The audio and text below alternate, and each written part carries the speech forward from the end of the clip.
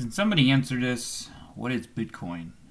I don't even know what Bitcoin is. I've been hearing it all over the place, and I try to figure out what it is, but I cannot figure out what it is. Um, but why is it so important, and why is it? I, I keep hearing it everywhere. Like I just heard a commercial about Visa offering Bitcoin for rewards or something. I'm like, what the heck is it? And is it even money? Can you buy stuff with it? I mean, I don't really know what it is. Um, I've been hearing it everywhere. I mean,